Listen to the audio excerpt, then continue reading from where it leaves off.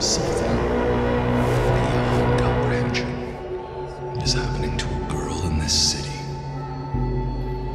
in this house.